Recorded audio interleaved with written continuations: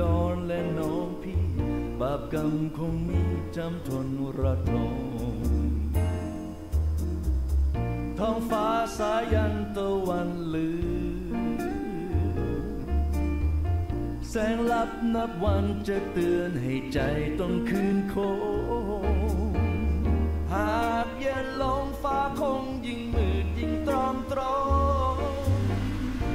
วิตประทมเพราะรอมา จวบจันทร์แจ่มฟ้านภาพอง เฝ้ามองให้เดือนชุบวิญญาสักวันบุญมาชะตาคงดี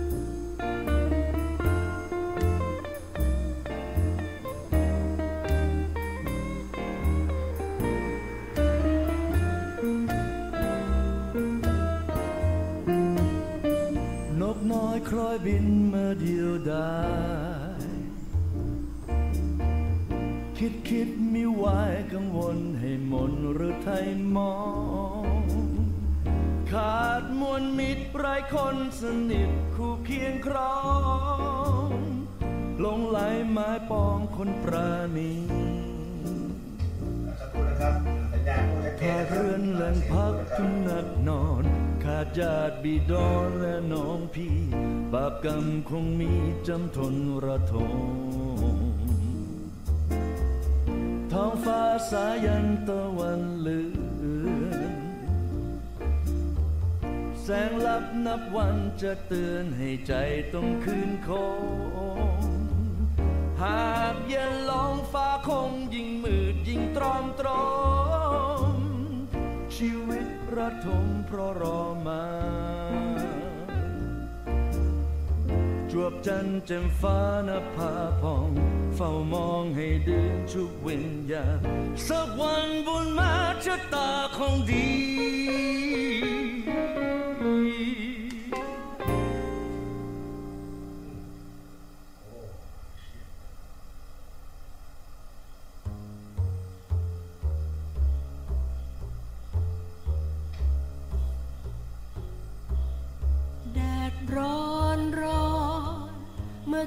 ทินนจะหลับเหลี่ยมเม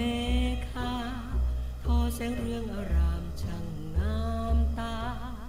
ในนภาสลับจับอัมพร แดดร้อนร้อนเมื่อทินนกรจะลาโลกไปไกล ยามนี้จำต้องพรา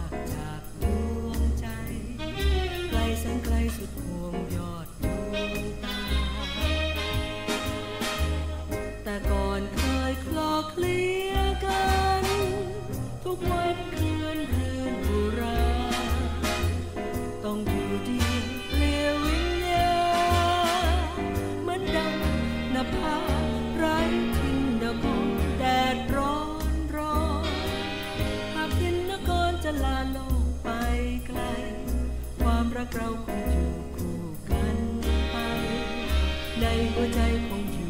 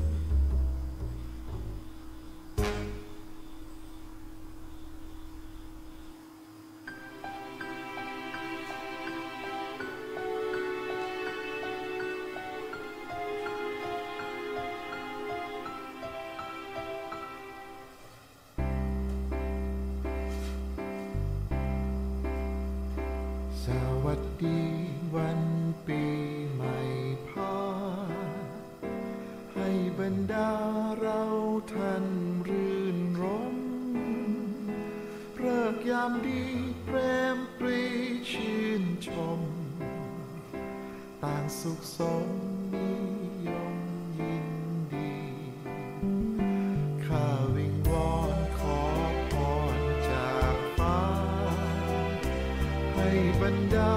ปวงท่านสุขสีโปรดประทานพรโดยปราณีให้ชาวไทยล้วนมีโชคชัยให้บรรดา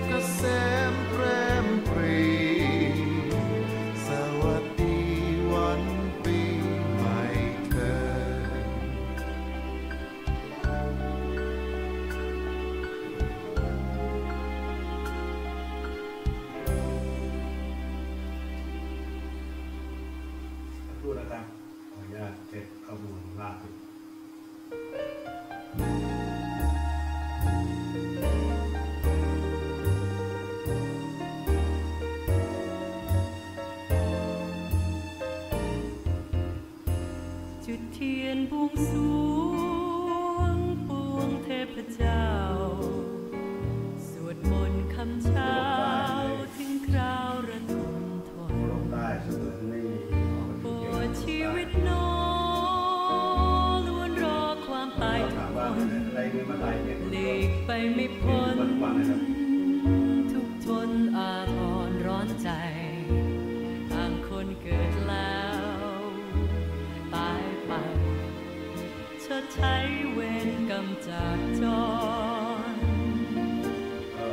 อวันนิ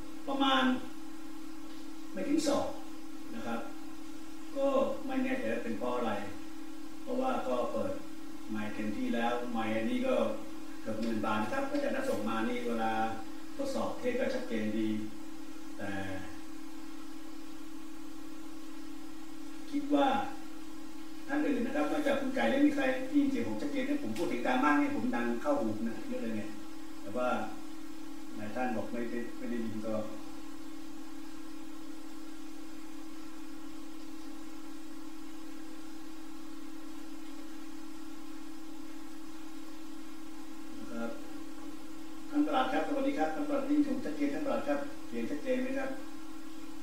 ตลาดที่จังหวัดน่านนะครับ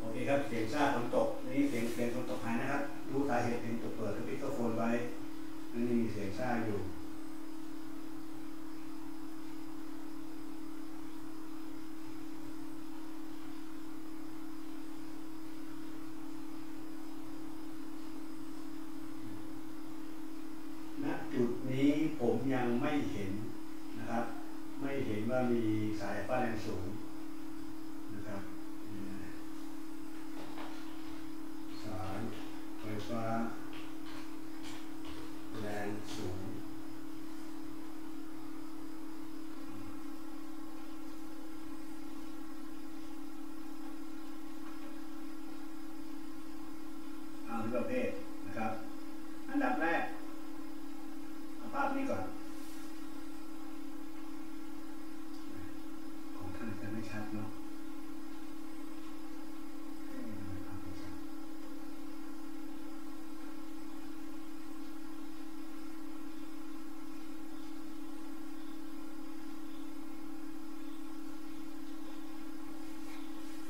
โอเคครับนั่นตรงนี้นะครับ ก็คร่าวๆว่า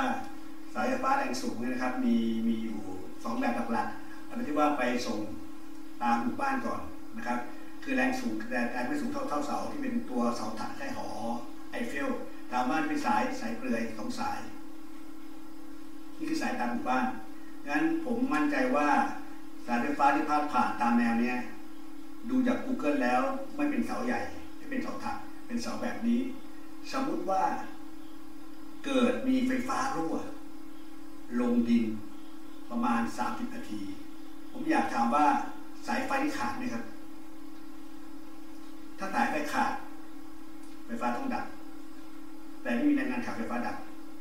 ถ้าสายไฟไม่ขาด แต่สายไฟรั่วผ่านเสาไฟฟ้าที่เป็นซีเมนต์ลงดินได้นี่มัน impossible เอา้า ถ้าเป็นไปได้ ถ้าสายไฟรั่วขนาดลงดินผ่านเสาไฟฟ้า ที่เป็นเสาซีเมนต์ที่เป็นเสาไม้ ลงดิน นานสามสิบนาทีก็ได้มีปัญหาไฟฟ้าดับนะครับ ไฟฟ้าตกนะครับ แล้วไฟฟ้าที่รั่วลงดินไปเนี่ยมันต้องใช้พลังงานมากมายขนาดไหน จึงทำให้เกิดแรงดันเกิดหิน หรือแร่ธาตุหลอมเหลวปะทุกดันออกมาได้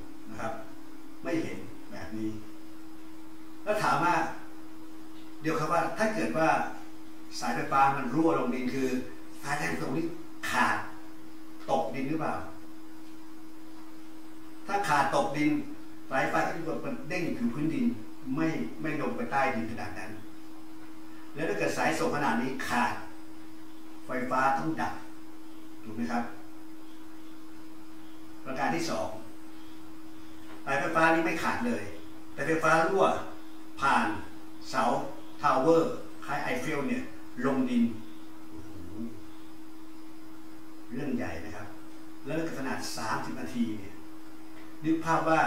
ถ้าไต่ไฟมาปั๊บรั่วลงดินปั๊บตรงนี้ไฟฟ้าไม่ไป ผมยังไม่เห็นรายงานนะ ไฟฟ้าดับไฟฟ้าตก ที่อื่นที่นั้นมันยังไม่รายงาน ค้นหาก็ไม่เจอ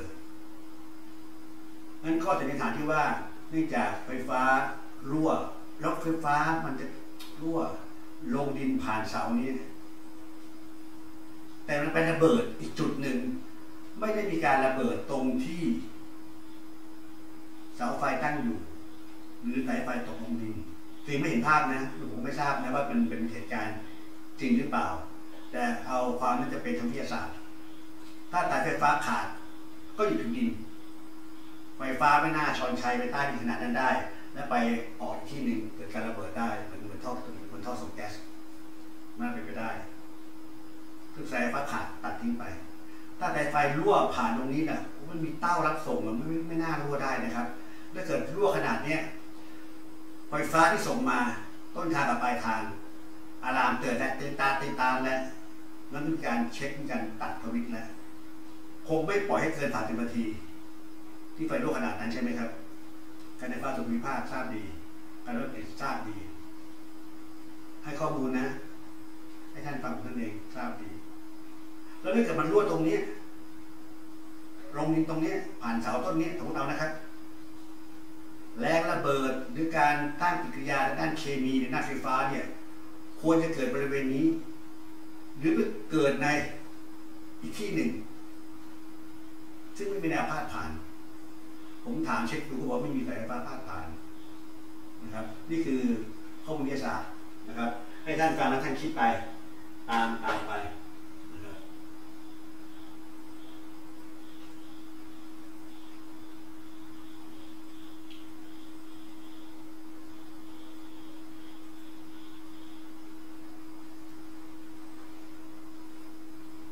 มาดูรูที่เกิดมาคนที่เกิดมาถามว่า อันเนี้ยมันเป็นแมกมาที่ออกมาเป็นลาวาใช่หรือไม่ ผมตอบว่าไม่ใช่ ไม่ถึงขนาดแมกมาออกมาเป็นลาวาผมอธิบายไปตั้งแต่วันที่เกิดเหตุแล้วว่า ตรงเนี้ยน่ามีความร้อนสูงมากๆ ความร้อนสูงแรงดันจากใต้ผิวโลกรุนแรงมากๆใช่ไหมครับ พอพุ่งขึ้นมาปั๊บเนี่ยไอความร้อนเนี่ยมันไปละลายหินเหล็กแร่ธาตุ ที่อยู่ชั้นดิน ที่ชัยภูมินะครับ เปิดโลกหนาประมาณ 78 กิโลเมตร ความร้อนระดับที่แมกมาอยู่ด้านล่าง ดันผ่านซอกแจ็คอะไรก็แล้วแต่ขึ้นมาเนี่ย ออกตรงเนี้ยเต็มทำให้พื้นผิวหินชั้นบนที่ดูจากสภาพแล้วก็ไม่น่าเกิน 2 กิโลเมตรนะครับ เกิดความร้อนจัดละลายดันพุ่งออกมา ถามว่าหมือว่าตรงนี้เหมือนที่เกิดที่แม่ลาวเมื่อปี 56 หรือเปล่า คือที่แม่ลาวนะครับเป็นการพุ่งตุ้มตำเป็นเป็นรูเหมือนกันรูกลมๆนะครับที่แม่ลาวเป็นรูเป็นรูรูแบบนี้นะครับ แต่ว่าพุ่งขึ้นไปความร้อนน้ำพุ่งก็ไปหยุดทันทีเลย ไม่มีการหลอมละลายแบบนี้ต่างกัน คือที่ที่แม่ลาวที่ดงกระดาษเนี่ยนะครับ มันเป็นเส้นแนวรอยแยกอยู่แล้ว นั้นการที่แมกมาจะออกมาพุ่งขึ้นมาเหนือพื้นดินนะครับ แล้วก็เกิดการไหลบ่าใต้ขวาลงสู่ที่ต่ำแบบฮาวายนี้ ถ้าถามผมนะ เกิดแน่นอนร้อยเปอร์เซ็นต์แต่ช่วงเหตุการณ์โคชิปเท่านั้นเองตอนนี้สบายสบายใจที่ผมว่าว่าเราเจอซิลิก้านะครับ ที่บ้านป่าแดดเนี่ยจากทุ่งฟ้าผ่ามาป่าแดดก่อนเข้าแม่สรวยเนี่ย เจอซิลิก้าเพียบเลย แล้วซิลิก้ามาจากไหนล่ะได้มาจากผงเถ้าถ่านของไฟหรือมาจากดินแดนของไฟนะฮะงั้นทางด้านแม่สรวยทางด้านแม่ลาวขึ้นมาดงกระดาษเนี่ยที่ตามลำน้ำแม่ลาวเนี่ยจะเกิดปฏิกิริยาคือออกเป็นแยกออก แล้วก็มีแมกมาขึ้นมาไหลเป็นลาวาออกมา แต่ไม่ได้เป็นตามแบบนี้ แต่ที่อีสาน เมื่อเดือนที่กายนปี 25น่าจะ 53เนาะที่จัดสัมมนาเรื่องของพิบัติภัยที่โรงเรียนทางนี้ก็มีมีผมมีดรสมิธมีดรพบอยู่เย็น แล้วก็มีท่านพระอาจารย์รัตน์ที่มาบรรยายกันเรื่องของการหนีทางคิดไล่ผมบอกว่าถ้าเกิดมีช่วงพิบัติภัยปั๊บนี่นะครับผมเนี่ยจะหนีมาภาคเหนือนะครับ แม่ฮ่องสอนเชียงใหม่เชียงรายนะครับเชียงรายส่วนดรขออนุญาตเอ่ยนามเรื่องจริงเทปนี้บันทึกอยู่ดรสมิธบอกว่า ผมไม่ไปกระจายชีพหรอกไปตาย เพราะว่ามีรอยเลือดเยอะเป็นไหวเกิดเยอะอันตราย ผมไปอีสานหรือว่าผมไปสกลสกลนครสกลนครตรงนี้สกลนครไม่เป็นไรครับผมผมก็ไม่เป็นไรบอกท่านไม่เป็นไรผมขึ้นเหนือและใช้กับท่านสกลนครตรงนี้นะครับภูพานเนี่ยเป็นเป็นเขาไฟใต้ทะเลเก่าลึกมากเลย และตรงเนี้ยหลายจุดมีภูเขาไฟเยอะมหาศาลที่บุรีรัมนางรองก็มีใช่ไหมครับเนี่ยดังนั้นเนี่ย งั้นตรงเนี้ยถามว่าแถวอีสานหลักๆเนี่ยมีรอยเลื่อนรอยแยกไหม ถ้ารอยเลื่อนเนี่ยไม่มีภาคเหนือ ถ้ารอยแยกที่มาจากเมืองการมาใช่ไหมครับไทยธานีขึ้นมาปั๊บมันอยู่โลกมาปั๊บขึ้นมาเลยปั๊บบนธานีไปลาวออกเวียดนามไปไทยลำตรงนี้คือรอยแยกเปลือกโลกนะไอ้เปลือกโลกรอยแยกย่อย เมื่อภาคอีสานโดยรวมแล้วไม่มีรอยเลื่อน ภาคเหนือมีรอยเลื่อน ผมพูดเสมอว่านะครับเดี๋ยวจะเหมือนว่าสมมติว่านี่เป็นกาต้มน้ำนะครับ ถ้าท่านเอากาต้มน้ำเนี่ย ตั้งไฟ เปิดแก๊สทิ้งไว้เลยนะครับ ให้น้ำเหือดแห้งหมดกาไปเลยนะพุ่งไอ้น้ำก็เต็มห้องเลยโหแบบเป็นบอกควันยิ่งกว่าซาวน่าอีก แล้วกาต้มน้ำนี้ก็จะบูบี้ ลงมาเพราะความร้อนจัดวัตถุที่เป็นโลหะจะบูบี้หดตัวลงมา แล้วเกิดการหลอมละลาย ไปอุดหัวเตาแก๊สประมาณนั้น แต่ถ้าเกิดการต้มน้ำนี้ปิดฝา ความร้อนที่มาข้างล่างใช่ไหมครับ มันสะสม ไอ้น้ำขยายตัวเกิดแรงดันในตรงนี้ ตุ้มระเบิดที่ฝาระเบิดด้านข้างระเบิดแน่นอน นี่คือภาคอีสานงั้นถ้าเกิดปฏิกิริยาภูเขาไฟ เกิดแผ่นดินไหวมันจะรุนแรงมาก เพราะว่าพลังงานที่มีการปลดปล่อย อย่างภาคเหนือใช่ไหมครับ มีบ่อน้ำร้อน มีน้ำพุร้อน มีรอยเลื่อน มีแผ่นดินไหวพลังงานปลดปล่อยตุบตับตุบตับตุบตับตับมาเนี่ยงั้น pressure จากไฟฟ้าอวกาศที่ลงมาตรงนี้มันเป็นการถ่ายเท แต่ของอีสานไม่มีการถ่ายเท แล้วผมก็บอกแล้วว่านะครับ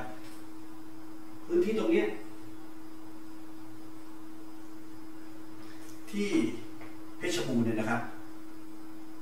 เกิดจากเหตุการณ์โพชิข้างล่าสุดแผ่นดินมันแยกออกไปแบบนี้ เป็นช่องเขาเลย ตรงนี้ไม่ได้เกิดจากกราเซียไม่ได้เกิดจากน้ำแข็งสมัยยุค 65 ล้านปีที่ โลกคลุมด้วยน้ำแข็ง แล้วน้ำแข็งก้อนใหญ่ก็ละลายลงทะเลที่ต่ำพาดผ่านแบบที่เชียงใหม่เชียงรายนะครับนี่มาดูมาเปรียบเทียบตรงนี้ เราเห็นภาพชัดเจน ถ้าท่านศึกษานักเรียนวิทยาภูมิศาสตร์มานะครับเรื่องของฟอร์ยอร์ที่สแกนดิเนเวียหรือหน้าผาที่ต่างๆมาเนี่ยมันชัดเจนว่าเนี่ยเหมือนการน้ำแข็งก้อนใหญ่ ที่อยู่ที่หิมาลัยหรือที่อยู่ที่น่านเจ้าสมัยก่อนที่มีก้อนหินน่านเจ้าเนี่ย ไหลไหลมาก็ถาบากมาสายมานี่คืองั้นส่วนที่แข็งตั้งอยู่ที่อ่อนไหลลง แต่แต่ที่เพชรบูรณ์ไม่ใช่เปรียบเทียบกันนะครับ ที่เพชรบูรณ์ไม่ใช่นะรอยแยกโดยตรงแผ่นดินแยกแบบโมเสสแยกทะเลแดงเกิดตรงนี้ แล้วการที่ขึ้นมาปั๊บเนี่ย ถ้าถามผมนะ คือมันเป็นหลักการสากลเนี่ยถ้าคุณเรียนเรื่องการต่อต้านการก่อการร้ายถ้าคุณเรียนเรื่องการควบคุมฝูงชน หรือการเรียนด้านการการการบริหารระดับรัฐบาลเนี่ยระหว่างบอกว่ามันเกิดปฏิกิริยาภูเขาไฟ หรือที่ฝรั่งเรียกว่า volcanic activity ที่ชัยภูมิผมเชื่อว่าหลายท่านครับ เอาตีนไก่หน้าผากเลยชิบหายแล้วโู บางคนก็บอกว่าเชยภูมิปลอดภัยไปได้ไหมผมก็ได้ แนวเขาตรงนี้สูงผมเน้นน้ำนี่แหละเพราะเขาเดี๋ยวผมไม่ค่อยกลัวเท่าไหร่ผมกลัวน้ำมากกว่า คนตายเพราน้ำมากกว่า คนตายนี่ของก็ไฟเป็นไฟเป็นดินไหวงั้นจะถามว่าท่านทั้งหลายมีที่ชอบที่ชอบต่างกัน มีครูบาอาจารย์ถือแตกต่างกันงั้นก็แล้วแต่ท่านเนี่ยฮะถ้าถามผมในแง่ของผมพยายามบรรยายแบบเป็นกลางนะครับ ผมเน้นย้ำว่าเนี่ย เชียงรายมาอยู่กับผมไม่ต้องอยู่ก็ได้ไม่ต้องมาอยู่ใกล้ผมก็ได้นะครับ เชียงใหม่มีที่เยอะ แม่สอดก็มีที่เยอะ แต่ขอพื้นที่บนเขาสูงเกิน 500 เมตร เท่านั้นเรื่องของน้ำเป็นหลักก่อน แล้วการอยู่ภูเขาเนี่ยถามว่าภูเขาเนี่ยมีการเกิดดินถล่มพังได้ไหมได้ เพราะหน้าผาตรงนี้ที่ชันชันไหมชัน ตรงนี้ชันไหมชันหรือเขาหัวช้างที่ทับเบิกชัน โอกาสพังทลายมีสูง ถ้าไม่มีต้นไม้ป่าใหญ่ ๆ อายุ 50 ปีขึ้นไปมีรากเยอะๆคุมดินกับทางมีสูงชัยภูมิมีไหมมีผมตัวไหนพื้นที่ครับเป็นเขาหินปูนใช่ไหมครับหินปูนที่มีต้นไม้กัดพังเหมือนกันนั้นตำเลที่ตั้งเนี่ยต้องมีงานดีๆแล้วการเกิดตรงเนี้ยปะติงยาภูเขาไฟถามว่ามันเกิดได้ยังไงอะคุณจะลืมว่าลำปาง ตรงนี้ลำปางเป็นภูเขาไฟใหญ่นี่ภูเขาไฟใหญ่แต่ก็นครก็ใหญ่ แถวนี้มีหมดนะครับ จริงๆแล้วเนี่ย และคำว่าภูเขาไฟ ผมบอกแล้วว่านะครับถ้าภูเขาไฟเนี่ยฝรั่งบอกวัวแคนโนวัวแคนโนคือลูกกลวยขึ้นมาจะเป็นกลวยป้านหรือกลวยแหลมแล้วแต่เออเป็นภูเขาไฟเป็น mountain ประมาณนั้น แต่ที่เป็นพื้นที่ราบแต่ก็เกิดการแตกแยกก๊าซซัลเฟอร์ขึ้นมาได้ แมกมาขึ้นมาได้ เขาจะเรียกว่า volcanic activity หรือปฏิกิริยาภูเขาไฟ มีทุกอย่าง ความร้อนความดันเกิดแก๊สพิษเกิดทุกอย่าง เหมือนภูเขาไฟลุกโวยเป๊ะเพียงแต่ว่าฐานฐานภูมิศาสตร์มันเป็นที่ราบหรือเป็นแอ่งแล้วแต่ไม่เป็นลูกทรงกลวยเท่านั้นเอง แต่บอกคนทันเราก็แยกไม่ออกเหมือนกับว่าพายุเนี่ยเฮ้ยพายุเข้า ลมเท่าไหร่ไม่รู้เดี๋ยวมันพัดป้ายพันห้าสิบกิโลเมตรต่อชั่วโมงก็คนตายได้เฮ้ยพายุเข้าป้ายไม่พัง แต่ติดคนคนไปเองมา เท่าไหร่ลมน้อยกว่าเฮ้ยจะไปป้ายไม่พังเลยแต่ลมน้อยกว่านะเรียกพายุเหมือนกันลมบ้าหมูลมสลาตันเรียกพายุหมดของต่างประเทศมีการแบ่งคัตล็อกที่นะครับมีแม้แต่คนระดับหนึ่งสามสี่ห้าแต่ของผมเป็นระดับสิบนะในหนังสือชัดเจนว่าช่วงใกล้โพชิปเนี่ยก่อนโพชิปเนี่ย ความเร็วลมหลายพื้นที่ ก็ประมาณ 500กิโลเมตรต่อชั่วโมงถึง 800กิโลเมตรต่อชั่วโมง ท่านที่เข้าแรงขนาดไหนนั้นการเกิดปริยาเขาไฟตรงนี้ผมมองว่า มันเกิดจากความร้อน เกิดจากแรงดันใต้ผิวโลกมากกว่า มากกว่าที่จะเกิดไฟฟ้าสายไฟส่งสูงแล้วก็ลงไปช็อตประทุนะครับ ลงตรงนี้ มันเปิดตรงนู้นไอ้ที่ไปต่อมีอะไรจะไปเชื่อตรงนั้นยังไงลงตรงนี้ไม่ได้เปิดตรงนี้ แล้วถ้าเกิดสายไฟรั่วตรงนี้ แล้วตรงนู้นไฟฟ้าใช้ได้ไหมเห็นไหมฮะผมบอกว่าถ้าเราดูความที่จะเป็นอยู่เนี่ยผมก็ไม่เราไม่ไม่ไม่เถียงข้าราชการทะเลาะราชการเนี่ยไม่ไม่ค่อยรอดนะครับไม่ค่อยรอดนะ เราไฟแรงสูงจริงที่พาดผ่านมาเนี่ยตั้งแต่เขื่อนพิพลเนี่ยลงไปเนี่ยก็ใหญ่ใช่ไหมครับขึ้นไปเชื่อมก็ใหญ่เหมือนกันท่านเห็นแบบนี้เยอะ ตามข้างทางท่านมองเห็นเยอะนี่คือสายไฟแรงสูงจริงๆ ที่ส่งระดับระดับภาคไม่ระดับท้องถิ่นนะครับ แต่ที่เป็นภาพนี้จะเป็นสายไฟแรงสูงระดับท้องถิ่นนะครับหลังคาบ้านผมเนี่ยก็มีแรงสูงสามเส้นแต่อาจจะไม่เท่าเส้นที่เป็นตัวเสาทาเวอร์เสาเสาถัก บริยางกันนั้นตรงนี้ก็แรงสูงเหมือนกัน แต่ความแรงของไฟฟ้าที่จะทำให้หินเหล็กหลอมเหลวระเบิดขนาดนั้นเนี่ยไม่มีทางเขาศึกษามาอย่างหนึ่งว่าไม่มีทางเป็นไปได้โดยเฉพาะถ้าเกิดสายไฟว่ามันขาด แล้วสายไฟมันตกพื้นเนี่ยท่านเคยดูนำไหมครับไฟฟ้าขาดไฟออกที่ที่ที่เป็นตรงปลายไฟที่สะบัดไปสะบัดมาเนี่ยนะ มันก็ไม่ลงดินนะสะบัดแค่นี้ประกายไฟ มันไม่มีตืดส่งต่อยาวเรื่องนะ ถ้าสายไฟฟ้าขาดมาทางนี้ตัดทิ้งไปนะครับงั้นถ้าเกิดว่าไฟมันรั่ว ผ่านเสาซีเมนต์ลงใต้พื้นดิน ท่านเรียนไฟฟ้ารุ่นต้นมาบ้างเนี่ยค่าความต้านทาน ค่าความตักสักของเสาไฟฟ้าซีเมนต์สองต้นไม้เนี่ยมีสูงไหมไฟฟ้าจะผ่านได้ไหม ถูกไหมครับ ไม่มีทาง ไม่ได้ถ้าถ้าขนาดนั้นเขาไม่ทำเป็นเสาไม้ตะปูนหรอกครับเพราะว่าถ้าไฟฟ้าผ่านได้เนี่ยถ้าเกิดฝนตกอีกอย่างหนึ่งแต่ถ้าฝนตกหนักๆมันก็ไม่ไม่ผ่านขนาดนั้นน่ะ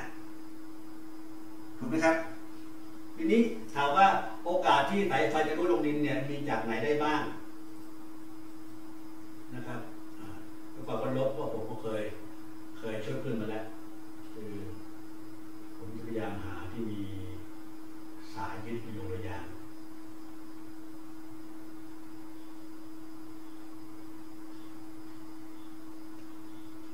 ยังไม่เห็นสายยึดโยงระยางนะตรงนี้น่าจะใช่ใช่เปล่าเลย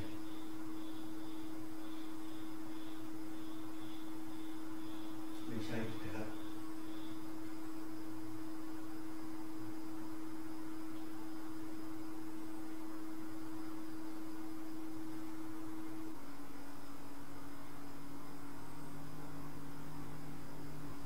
ที่ผมพยายามบอกคือว่าครับคือสายไฟฟ้าบางต้นใช่ไหมครับนี่แหละคือมันจะอาจจะเอ็นล้มถ่วงเนี่ยก็จะมีสลิงยึดเนี่ยจากเสาไฟฟ้าเนี่ยลงมาปักที่ดินผมว่าท่านเคยเห็นนะครับสลิงยึดเสาไว้นะครับเสาตรงกลางสลิงยึดมาไอ้ตรงนี้ครับ ไฟฟ้ามันกัดตัวได้ ตอนผมเป็นนักเรียนชั้นไหนวะมสองหนึ่งมสองจำไม่ได้นะ เพื่อนผมหนึ่งที่เป็นหมอเนี่ยไปเล่นเราเราทำแปลงนาข้าวอยู่ครูป๊อกแล้วทดลองปลูกข้าวมันเรียนวิทยาศาสตร์ของสสวทข้าวมา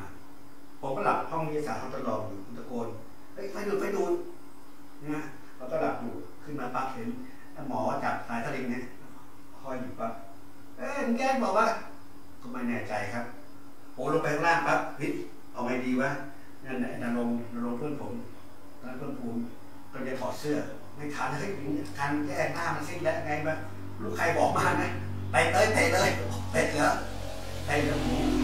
คุณไฟฟ้าดูไฟฟ้าใช่ไหมครับถ้าเราไปเตะเขาเนี่ย ไอ้ไฟมันต้องโดนเราเนี่ยเอาแล้วรอดไหมเนี่ยมีใจผมนะ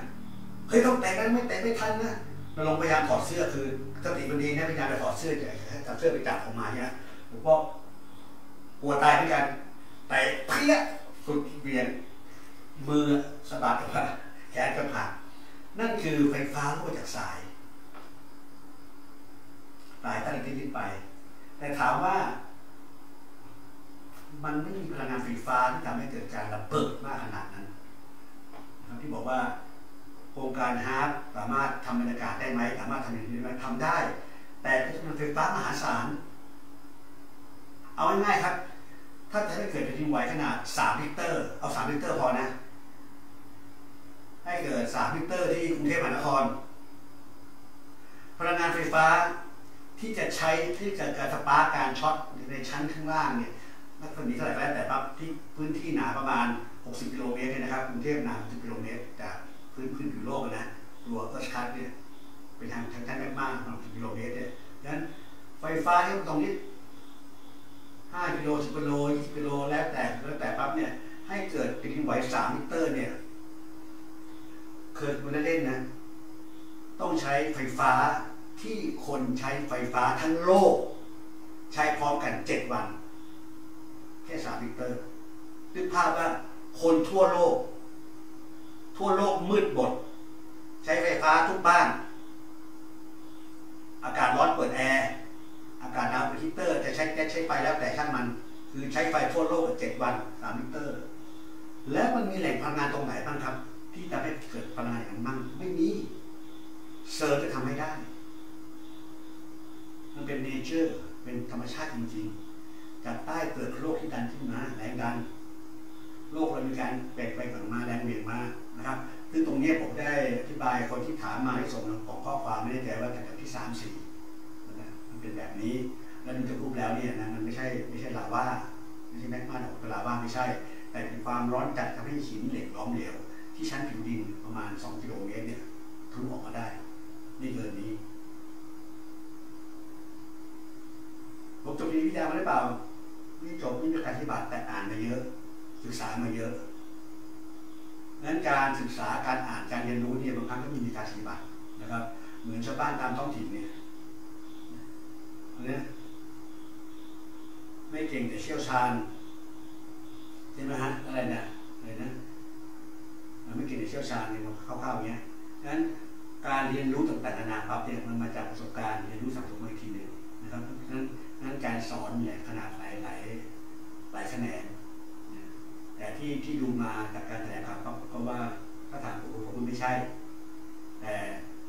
ทางราชการก็ต้องเอาความสงบเรียบร้อยเป็นหลักถูกไหมครับ แค่นี้บ้านเมืองก็จะแยกกันตีกันตายแล้วหาเรื่องนายนายกต่างๆวุ่นวายไปหมดขนาดลุงตู่ประกาศวางมือแล้วไม่มีปัญหาแต่เพราะเขาต้องการสงครามกลางเมืองต้องการทำลายเสาหลักต่าง งั้นในแง่การคุมฝูงชน การบริหารการจัดการขั้นวิกฤตถ้าท่านเรียนมาจะรู้ว่าทำอย่างไร รับลวงพานโกหกหน้าตาย การโกหกหน้าตายนี่เพื่อสังคมสงบให้เกิดความสูญเสียน้อยที่สุด จนกว่าเหตุการณ์นั้นจริงๆไม่ใช่สูญเสียก่อนเหตุการณ์ย้ำว่าเหมือนที่กบาตุกเสียเมื่อกี่ปีก่อนนะห้าปีปีก่อนเนี่ย ตอนนั้นผมถือว่าเป็นเหตุการณ์นะเพราะว่ารู้เห็นอยู่แบบปั๊บยังคุยว่าทำไมไม่มีการประกาศเตือน ทุกคนเงียบหมดนะทำให้รู้นานไหม ข่าวตอนแรกประมาณสามชั่วโมง แต่สุดท้ายสามสิบนาทียังรู้ก็ประกาศตกแน่นอนรัสเซียลงแน่นอนว่าเส้นทางขบวนนักโลกมันบับมามาแพ็คเวย์แน่นอน แต่เขาก็บอกว่าถ้าประกาศไปปั๊บแต่ความเสียหายมันจะมากกว่าความเป็นจริง นั้นควบคุมสังคม ความเสียหายมันจะเกิดความสูญเสียจำกัด คนก็ตายน้อยเด็กน้อยทุกอย่างน้อยหมดจะใช้ประกาศเป็นทางการเลยปั๊บทั้งโลกตื่นหมดเลยเห็นไหมครับ เหมือนเนี้ยถ้าประกาศเป็นทางการว่าเอ้ยตอนนี้นะ ที่ชัยภูมิ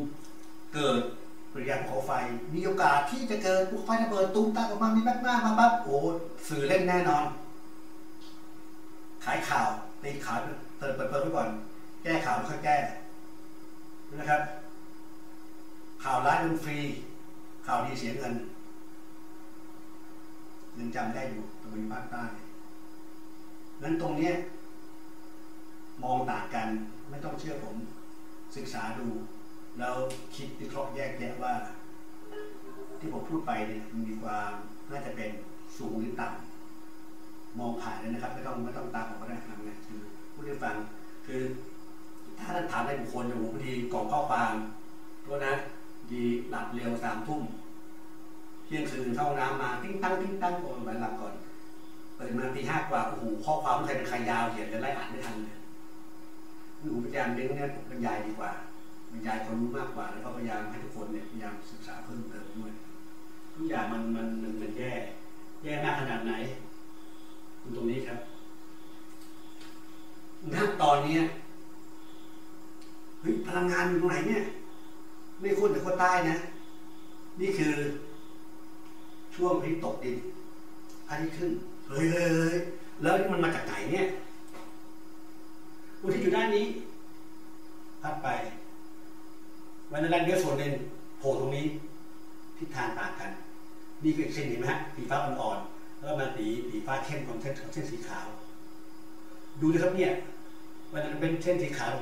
เสถียรมากๆ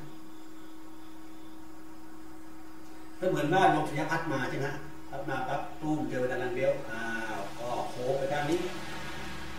ไปชนข้างหลังมา แต่แนวตอนนี้มาไม่มีนะ นี่เป็นภาพมิติเดียว แล้วมันแรงมากอะ เห็นไหมฮะแดงเข้ม แดงเข้ม คิวเลอร์โปรตอนนี่เห็นไหมฮะน้ำเงินเข้มอยู่ตรงนี้ ถ้าอยู่ตรงนี้คือโรคด้านที่โดนแสงอาทิตย์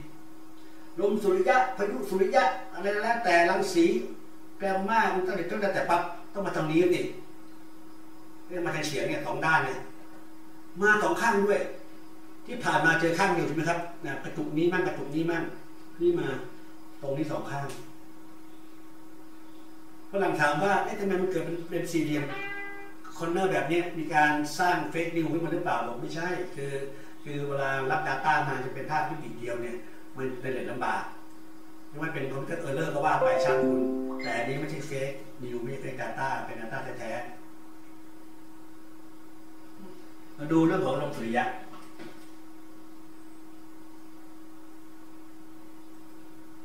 เนี่ย ลงทุนพัฒนาเจ็ดร้อยกว่าแปดร้อยกว่าอู้แรงนะ เพราะเป็น CME ครับเขาเรียกพายุสุริยะ solar storm นะเวลาระเบิดตูมปั๊บแสงมาปั๊บรังสีมาเรียกโซลาแฟร์นี่โซลาสตอมตามอะไรบอกว่าใช่ไหมห้าหกเจ็ดแปดก็บอกแล้วมีโซลาร์สตอร์มมา มาจริง แต่ดูความเข้มข้นของรังสีตรงนี้เห็นไหมครับ ไม่เท่าไหร่ ไม่เท่าไหร่นะเออ แต่ลูกศรย้อนแย้งมีเยอะไหม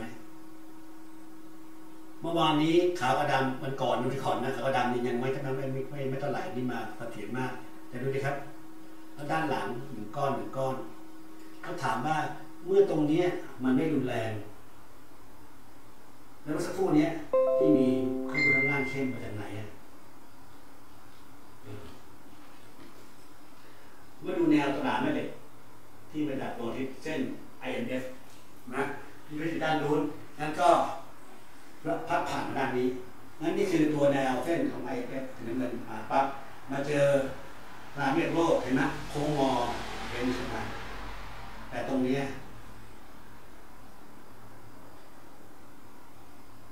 เห็นไหมข้างหลังแหลมข้างหน้าตรงนี้มาจากไหนอะถึงถามท่านมันมาจากไหนอะตรงนี้ก็มีนะครับ แล้วตัวตัวตัวไอ้โพลาร์แคปสีเขียวเนี่ยวนลงล่างย้วยลงล่าง ตรงนี้ไม่ย้วยนะลงไปด้านนี้ตรงนี้ ตัวโพสต์ลูสีแดงสนามเหล็กมีเปิดมีปิดอันนี้เป็นตรงนี้มาเป็นเป็นโค้งนี่เป็นเหลี่ยมปลายแหลมนะข้างบนโค้งเนี่ยเห็นเป็นสีแดงครับ โคตรลูกเนี่ยมีเป็นสีแดงโค้ง มาแล้วนี้ปั๊บเป็นปลายแหลมหักด้านนี้ นั่นชี้ชัดว่าดวงที่อยู่ด้านนี้พลังงานกระแทกมายังอยู่ตรงนี้ ไม่ได้ไปไหน แต่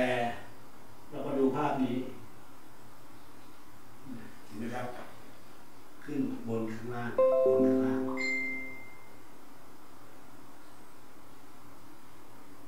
เลเยอร์สีขาวแดงเดียวนอกหนึ่งสองสามก็เป็นสี่ ดีๆนะครับ แล้วมาดูเรื่องของตัวสนามแม่เหล็กขั้วโลกใต้ ถ้าดูตอนนี้ เอ้ย ไม่มีสนามแม่เหล็กขั้วโลกใต้มีขั้วโลกเหนือ เห็นไหมครับ เป็นการสปิตตรงนี้มั่งขยุกมั่งนี่จุดหนึ่งมั่งกระจายไปแต่ขั้วโลกใต้เออเอาใกล้ๆชัดมีเส้นสนามเหล็กไหมครับ ไม่มีต้องดูหินอย่างชัดเจน เขียนหน้าดูมันแบบดันไปดันมาแต่ไม่มีสนามเด็กเลยนะ ดูทุกทุกกราฟนี่จะไม่มีอ่าดูชุดน้ำเงินง่ายๆหน่อย ชัดเจนกับเพื่อนเห็นไหมครับ เมื่อตอนหัวค่ำตอนตอนต้นรายการดูเปิดดูไม่มีจุดจุดหนึ่งนี่มีนิดนิดอย่างนี้เล็กเล็กมาก แต่ละที่ที่โลกเหนือ อันเนี้ยสปิดแยกตัวชัดเจนหนึ่งจุดนไหมฮะหนึ่งจุดตรงนี้ชัดเจนแน่นอน นี่คือขั้วโลกเหนือนะ นี่คือกรีนแลนด์นะครับนี่คือแคนาดา นี่คือตัวไอซ์แลนด์สแกนดิเนเวียทางฝั่งนี้มาดูซีกโลกใต้ อเมริกาใต้ ขึ้นมาปั๊บทางนี้มาเลยครับทางออสเตรเลียทางเพิร์ธ ณตอนนี้สนามพลังงานที่แมกมาหมุนแกนโลก แล้วก่อให้เกิดสนามไฟฟ้าออกขั้วโลกใต้ไปเป็นมันลันเบลกันพลังงานต่างๆ กระแทกโลก เห็นชัดๆว่ามันถ้าดูนี้เฮ้ยไม่มีสนามเหรอยังมีอยู่ แต่ความอ่อนตัวความที่ว่าเสมือนไม่มีอะ ท่านออกขั้วโลกใต้ออกออกได้ครับณตอนนี้ข้อมูลเราไม่มี ถ้าดูตามนี้นะสนามพลังงานจุดที่แรงไหมครับเห็นไหมแดงแดง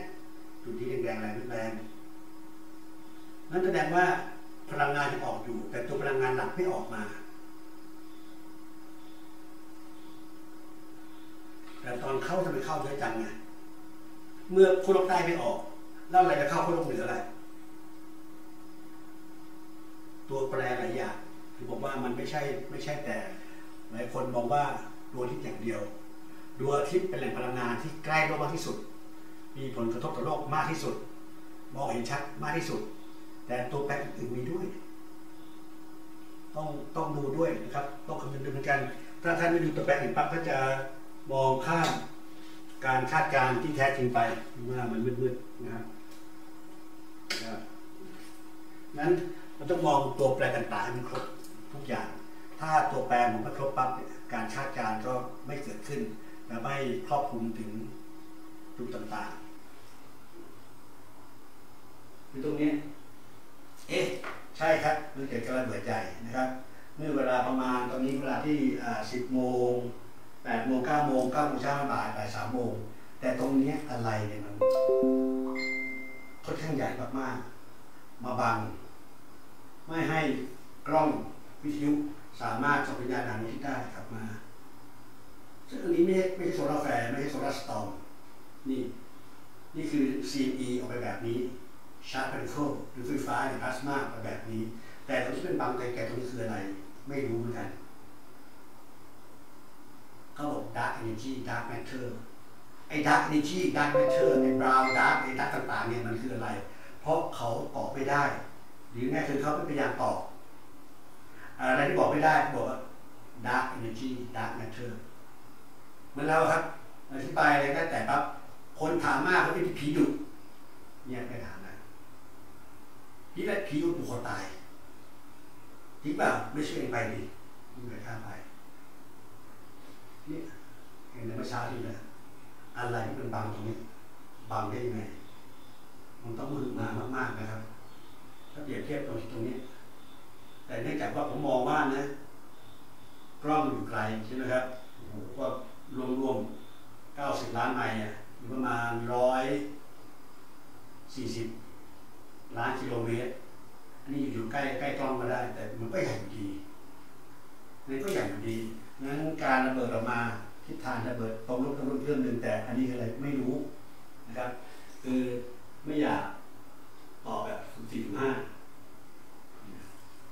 นั้นการดูตัวที่ระเบิดดูพลาสมาดูปฏิกิริยาต่างๆเนี่ยต้องดูชัดเจนหรือการดูว่ามีดวงดาวต่างๆเข้ามาไหมมี cosmic ray เข้ามาหรือเปล่าคือชาร์ดิเซนนะเขากล่าวพวกนี้ไม่ใช่ดวงดาวเสมอไปนะครับ เป็นเป็น cosmic ray ที่เป็นกลุ่มพลาสมาเหมือนกันเป็นกลุ่มอุกกาบาตเหมือนกันงั้นเราจะไม่มองขนาดนั้นเพราะว่ามันไม่ใช่ไม่ใช่ปัจปัจปัจจัยหลักแต่ปัจจัยหลักคือว่าอยู่ตรงนี้นี่คืออะไรอะ ตรงนี้มันมีเงาเงามาบางบางผมก็ไม่ให้รู้ทุกอย่างนะ ผมต้องศึกษาต้องอ่านแล้ววิเคราะห์ Mister A ว่าแบบนี้ Mister B ว่าแบบนี้ Mister C ว่าแบบนี้ Mister D E ว่าแบบนี้เนี่ยทุกคนว่ามาแต่ทุกคนเรียนรู้มา เอามารวมกัน รวมกัน แล้ววิเคราะห์เอามาซับซ้อนกัน ว่าความน่าจะเป็นของใครดีที่สุด หรือต้องเอาใครมารวมกับใครดีที่สุด นี่คือการวิเทางวิทยาศาสตร์ ตัวเลขไม่หลอกกัน ค่าที่ได้มาจะเป็นค่าแท้จริงไม่มีการเพี้ยนเป็นที่ใบคาดการณ์ได้ฝนตกฟ้าแล้วคาดการณ์ได้เลยถูกไหมครับ แต่เขาบอกคาดการณ์ล่วงหน้ามากก็ไม่ดีเพราะที่บอกไปนะครับ คนกลัวเยอะ คนชอบวิพากษ์วิจัยวิจารณ์เยอะอันตราย ดี๋ยวมาดูที่ของนาซาวันนี้ ตรงนี้ครับก็มีข่าวว่านะครับมีพลังงานบางอย่าง ดูดดูดพลาสมาความร้อนเนี่ยจากจุดดับที่ 3892 ออกมา 17 ชั่วโมง อ้าว แล้วอะไรดูดมาล่ะ คุณใช้ขับอะไรนะอะไรนะแอโรเจโรเชียทุกอย่างทำได้แล้วแต่ ถ้ามีบางอย่างสามารถดูดพลังงาน จากดวงอาทิตย์ได้แสดงว่า พลังงานที่ดูดได้เนี่ยต้องมีแรงกระทำมหาศาลถูกไหมครับ ถึงดูดพลังงานออกมาเจ็ดชั่วโมงนะอันนี้ไม่ใช่ออกมาเองตาที่มันเกิดขึ้นมาทางทางธรรมชาติที่เป็นการระเบิดขึ้นมาตุ้มเป็นโซลาร์แฟร์เป็นกราสตอม แต่นี่เป็นอย่างดูดมันออกมาเจ็ดชั่วโมงเลยบอกว่า ไม่มีวัตถุสิ่งสิ่งใด มาใกล้ดวงอาทิตย์ ไม่มีระบบสุริยะ X ไม่มี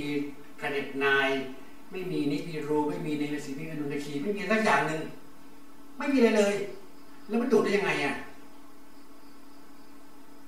ตัดกะก็ไม่ได้แล้วถูกไหมครับงั้นใครที่ไม่เชื่อ ผมก็ไม่รู้นะ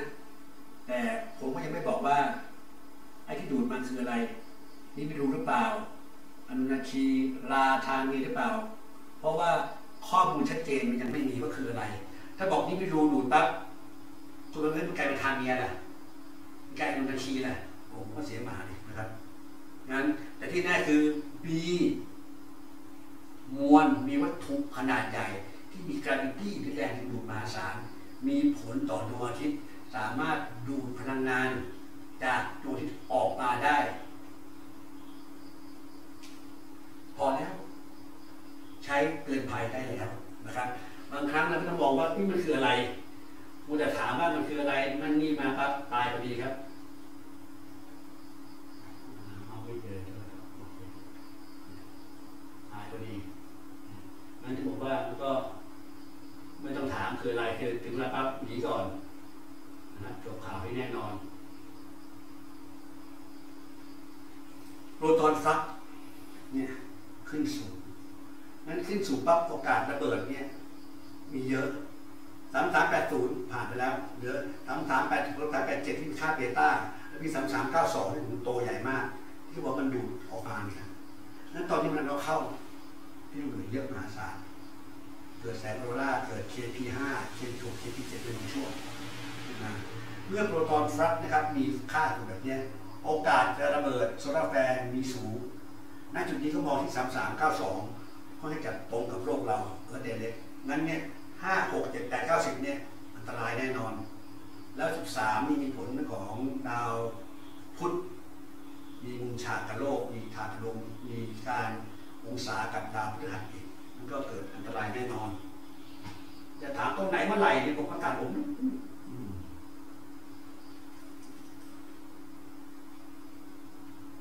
บางครั้งบางอย่างไม่ต้องรู้มากก็ได้ครับ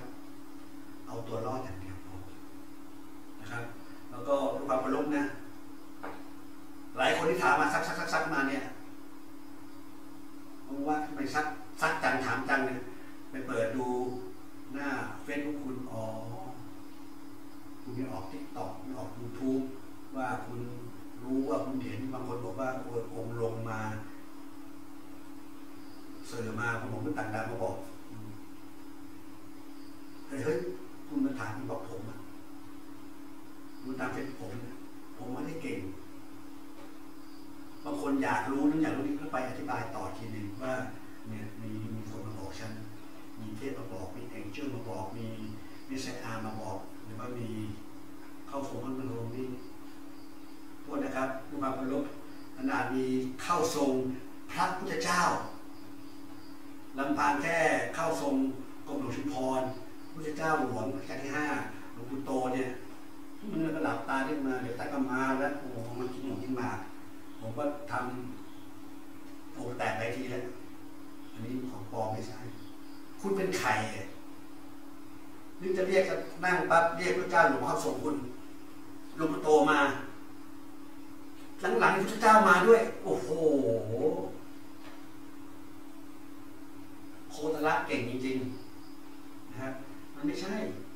หรือการสื่อสารต่างดาวแบบขนาดแดงผมนี่ยังไม่ใช่ว่าที่จะคุยคุยได้แค่ที่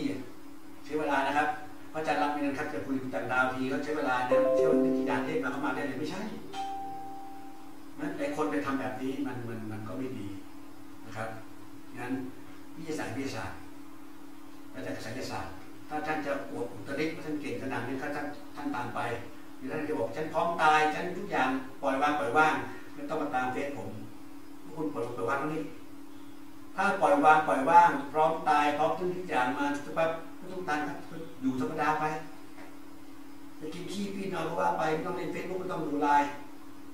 ถ้าคุณยังดูไลน์เล่นเฟซบุ๊กนะทำทิกตอกอยู่คุณไม่พร้อมตายหรอกคุณไม่ได้ปล่อยวางหรอกถ้าปล่อยวางต้องทิ้งมือถือไปเลยได้รับโทรศัพท์อย่างเดียวถูกไหมครับนะไม่ว่ากันนะอาจจะพูดแรงไปหน่อย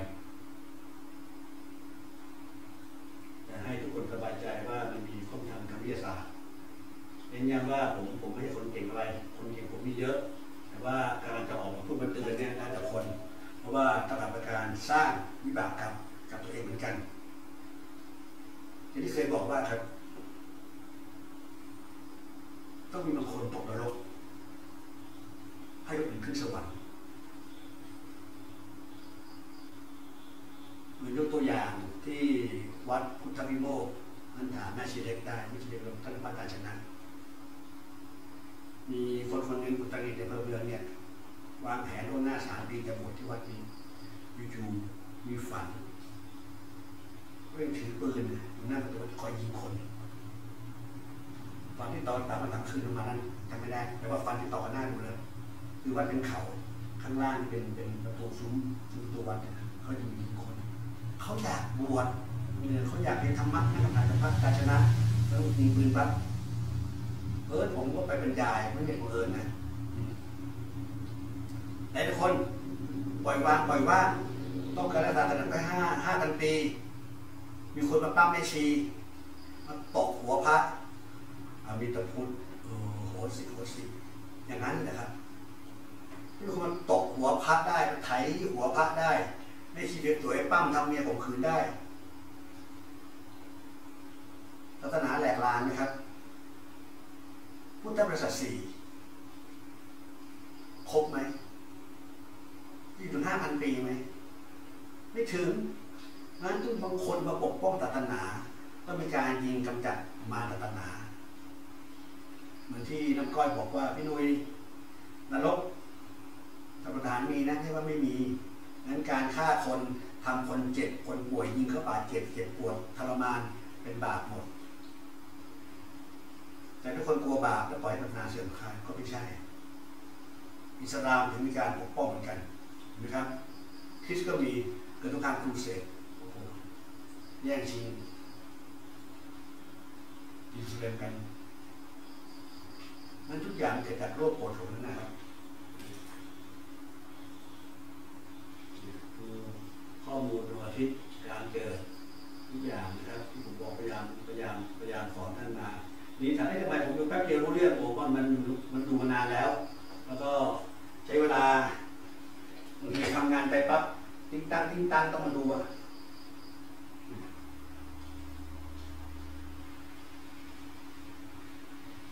อย่างนี้นะครับขยายใหญ่มาชัดๆเนี่ย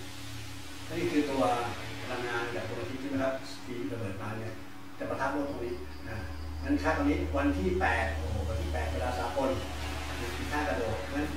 วันที่แปดจะเกิดพระใหญ่ไหมเออเริ่มเวลาประมาณกี่โมง เริ่มมาวันที่เจ็ดแล้ววันที่เจ็ดของเวลาสากลเวลาเจ็ดโมงเช้าบ้านเรานะครับเจ็ดโมงเช้าที่เจ็ดไปเรื่อยๆจนมาถึงตรงนี้ วันที่แปดนี่เป๊ะมันเป๊ะประมาณเจ็ดโมงเช้าวันที่แปดเราเร็วกว่าสากลเจ็ดชั่วโมงใช่ไหมครับนี่เห็นไหมพลังงานแทบโลก ดูตรงนี้นะครับนี่พลังงานกระแทกโลกตรงนี้ดูว่ามันลูกลูกใหญ่ที่ทางอื่นแต่ตรงนี้ดูเล็กๆนะ แต่ดูขยายใหญ่ตรงนี้เยอะนะครับเห็นไหมนี่คือสิ่งที่กำลังเกิดขึ้นและจะเกิดขึ้น ข้อมูลต่างๆมันมันฟ้องวิทยาศาสตร์เราก็มาศึกษาตรงนี้นะครับ เพื่อจะคาดการณ์เพราะเขารู้แต่เขาไม่ บอกเรา ให้เรารู้บ้างนะครับเขาจะกักวิชาหัววิชาก็สุดแท้แต่ของเขา เราก็ต้องพยายามหาทางศึกษาค้นคว้าแล้วก็มาวิเคราะห์เพื่อเตือนพวกเรากัน เราบอกว่าตรงนี้ก็คือหนึ่งเราต้องตระหนักไม่ตระหนกแล้วก็ดำเนินการความสมดุลที่ว่าต้องไม่ไม่ประมาทคืออัปมาทะนะครับ แล้วก็คิดวิเคราะห์แยกแยะจาก ตักกะจากเหตุผลที่เราศึกษามาว่ามันเป็นยังไง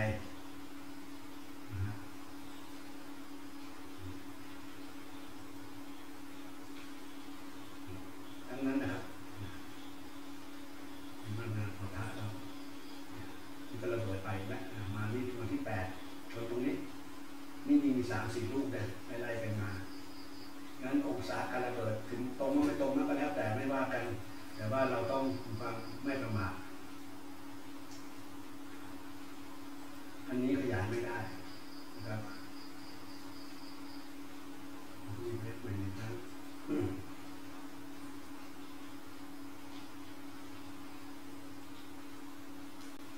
ตรงนี้ถ้าเกิดว่าผมผมจะขยายขยายขยายไม่ได้ ท่านพยายามตรงนี้นะ โลกแหวนเอียงไปเอียงมานะวิธีครับนไหมนี่ยโลกแหวนมีแป้งกว่าท่านดูไอ้เส้นแนวมันรันเบลนี่ก็ได้ครับที่ออกมาเห็นไหมนั้นอะอย่างนี้เอียงไปเอียงมาดูนี่เห็นไหมนี่คือ โลกเราเหมือนลูกขางนะพลังงานมันลดลงที่แหวน ถ้าพลังงานแข็งแรงมันจะตั้งตรงพลังงานอ่อนแล้วมันก็เริ่มแกว่งอยู่ไปเอ็นมาแล้วพลังงานอ่อนก็จะเอ็นวางขึ้นวางขึ้นเรื่อยๆอันนี้ก็ชัดเจนนะครับว่าวอ b เบิลในกี่ชั่วโมงงั้นตัวแกนโลกนี่คือแกนแกนโลกเอียงแต่โลกแกว่งแกว่งแบบนี้ด้วยหมุนรอบตัวเองด้วยแกว่งนี้ด้วย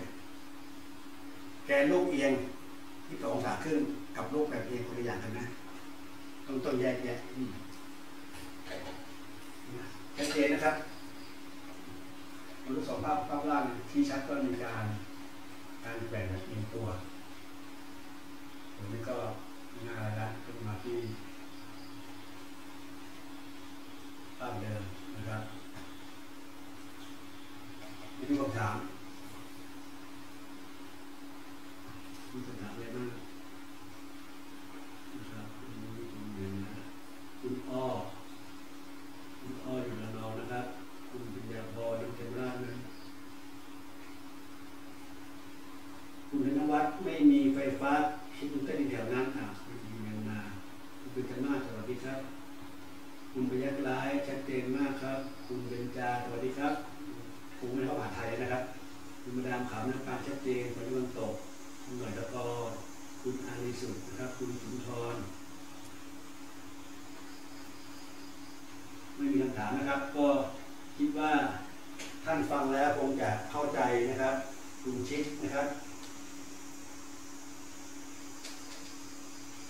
คุณทองสุขหนูจิ๋วนะครับ คุณสุนทรรัตน์คุณหน่อยคุณเบญจรานะครับ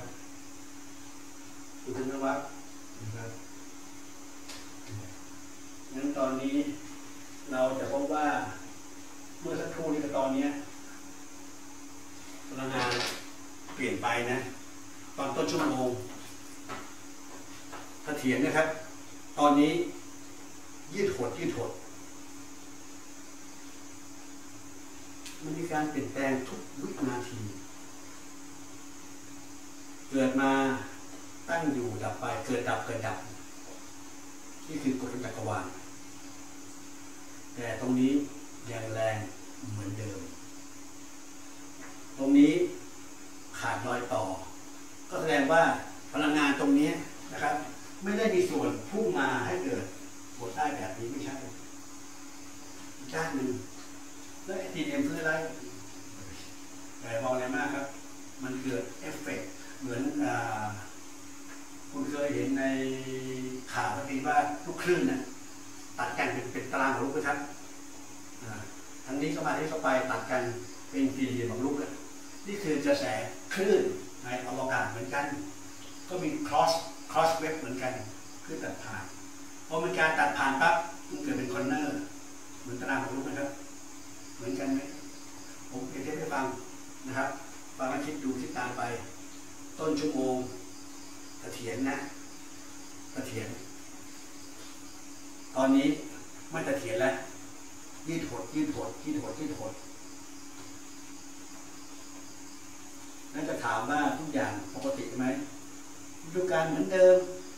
มันขึ้นเหมือนเดิมอย่างเหมือนเดิมหมดไม่เปลี่ยนแปลงเพ้อเจ้อบ้าบอเป็นเป็นเพราะที่ทำเอฟเฟกต์เป็นเพราะ over warming เราใช้อ่าถ่านหินมากไปพลังงานมากไปน้ำมันมากไปหุงฟืนมากไปแก๊ส LP มากไปโอ้มันก็พูดได้ แต่นี่คือปัจจัยหลัก นี่คือทำไมต้องมีพกนาฬิกาตามมือสี่เดือนขึ้นเครื่องบินทีพกนาฬิกาสี่เดือนนะคนมองคนดูแต่ตาแล้วมันบ้าบางครั้งไปซ้ายสองเดือนขวาสองเดือน ที่เข็มขัดหนึ่งเดือนเช่นเดียปั๊บมันก็ตุ๊บตับตุ๊บตับตุ๊บตับตุ๊บตับเพราะผมทดลองของจริงไงมันเออร์เลอร์หมดนะนั้นความสูงสองเดือนใกล้เคียงกันสองเดือนเพี้ยนไปแต่ มันก็บ่งบอกถึงชั้นบรรยากาศเปลี่ยนแปลงไป แล้วก็มาตรวจแบบนี้ รับรองได้ครับตอนนี้เดินเอามาเรียนเดียวแล้วดูความสูงอะอย่างตอนนี้ ผมเป็นห้าร้อยเจ็ดสิบหนึ่งเมตร ก็หายไปสิบเอ็ดเมตร ตรงเนี้ยปกติจะห้าร้อยแปดสิบสองที่ผ่านมาหกร้อยกว่าตลอด ทีนี้ไอ้ตัวตัวต่างโลกที่ไกลๆเนี่ย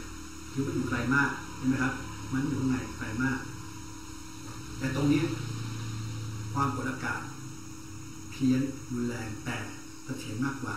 ดูเส้นสีแดงนะค่อนข้างนิ่งคิวเลอร์โปรตอนสีน้ำเงินค่อนข้างนิ่ง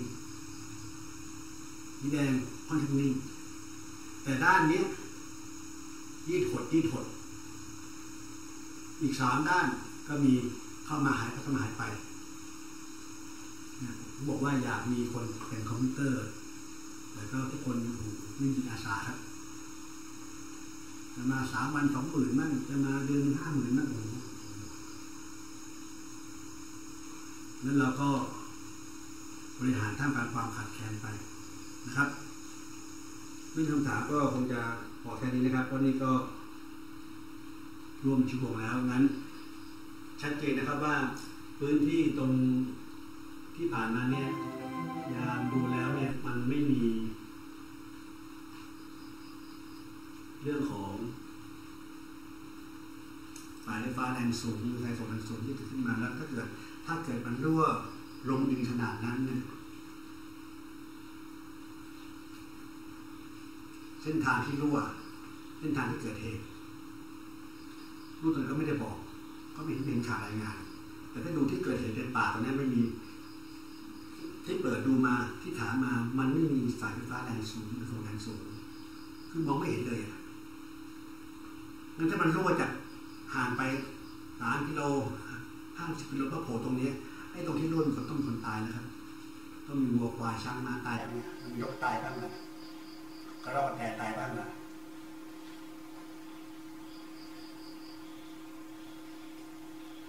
ปฏิกิริยาภูเขาไฟ หรือ volcanic activity เกิดได้ทุกที่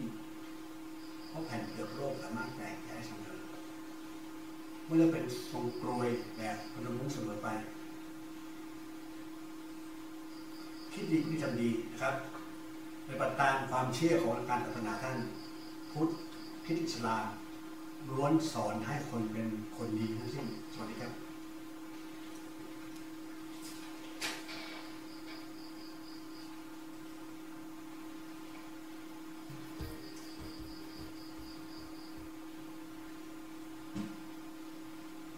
for connection.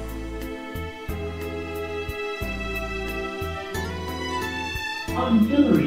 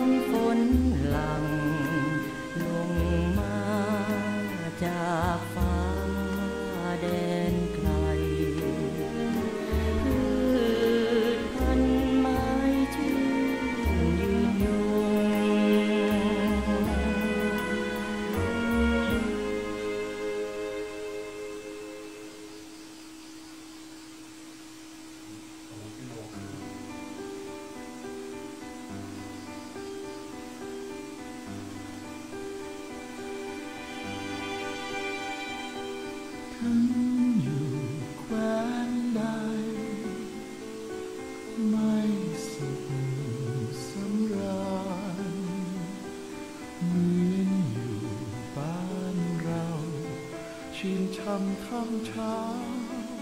สุข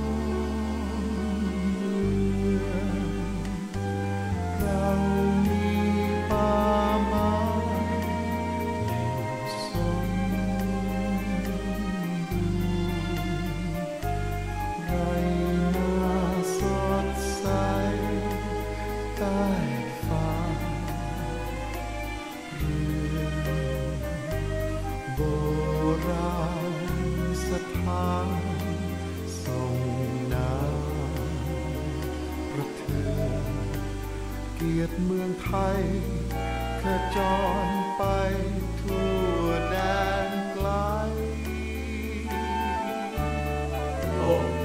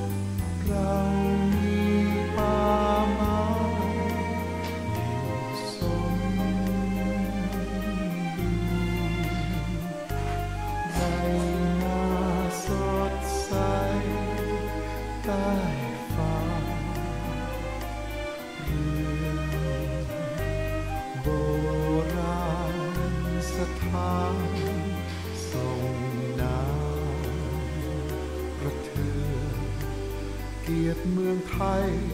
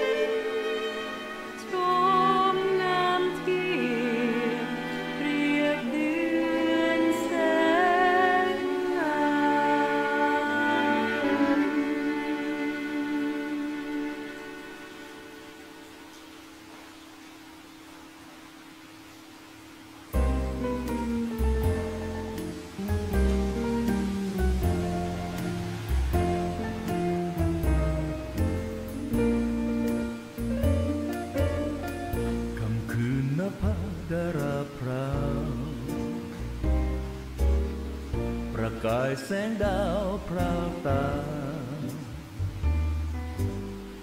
ดาเรเคียงแสงดวงจันทรา เพลินชมแสงปลายนาผาเห็นดวงดาราพร้อมเจอที่จริงนั้นเดือนและดวงดาวต่างเรืองแสงวาวพราว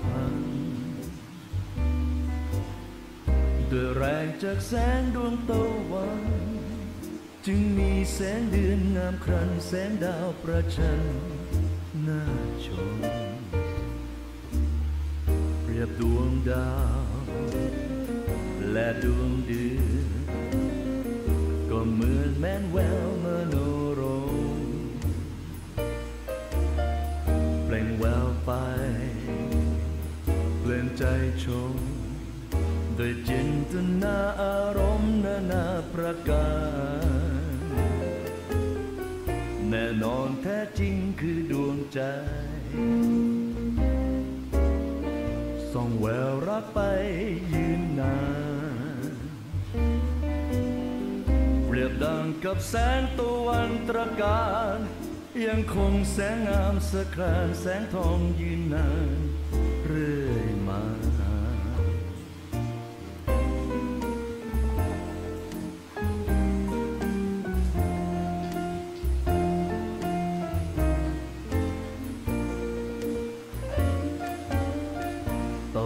ใช้มาดารารายส่องแสงพริมพรายในตาเรื่นรมชมแสงดวงจันทรา ชมดาวล้อมเดือนงามตาพริมพรายนาผาแสงงามมาดแมนสุนดวงตะวันไป ประดาแสงในฟ้าสางผู้คนสัตว์ไม้จะตายตามตะวันสูญไปเป็นยามล้วนมีแต่ความมืดมนเปรียบดวงดาว และดวงเดือนก็เหมือนแม้นแววมโนชน ไปตามใจคนเปลี่ยนแปลงไปตามใจต้นเวียนวนจนตายตะวันนั้นเมือนดังดวงใจ หากสิ้นแสงไปรักใครขาดความรักเหมือนชีวาวาย จะเป็นหรือตายทั้งใจและกายไม่ไหวโศกโศก